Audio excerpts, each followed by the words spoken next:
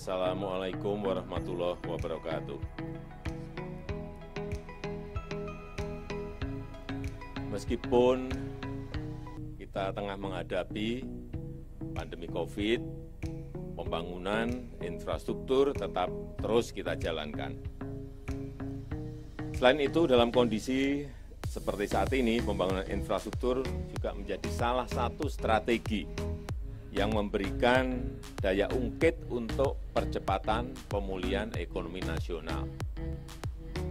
Ini kita harapkan akan mendorong pertumbuhan, akan mendorong pemerataan ekonomi, pertumbuhan ekonomi dan pemerataan ekonomi di Pulau Sumatera.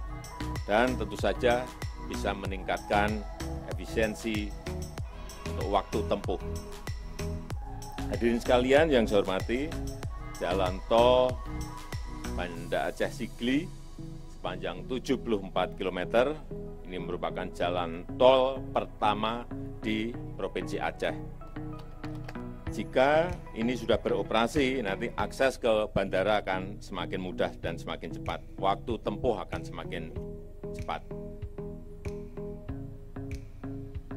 Kalau konektivitas semakin lancar, dan terhubung dengan transportasi udara, maka yang akan kita lihat ke depan, pergerakan orang, pergerakan barang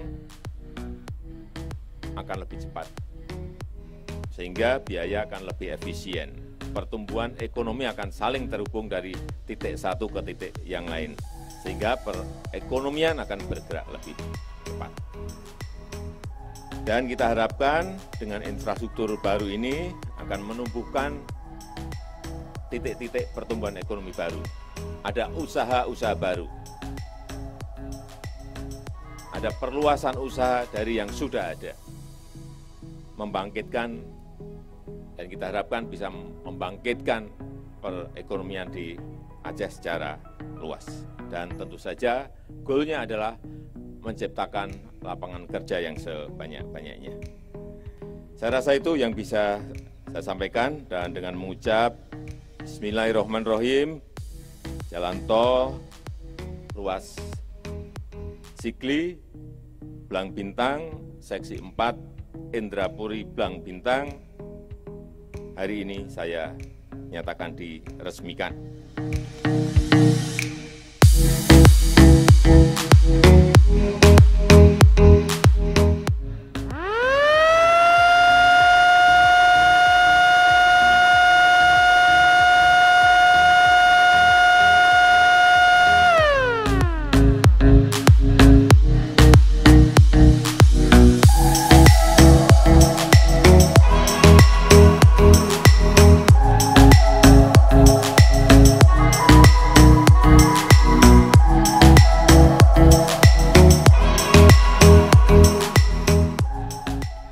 Hadirin dengan demikian maka jalan tol Ruas Sigli Banda Aceh Seksi 4 Indrapuri Blang Bintang telah selesai diresmikan.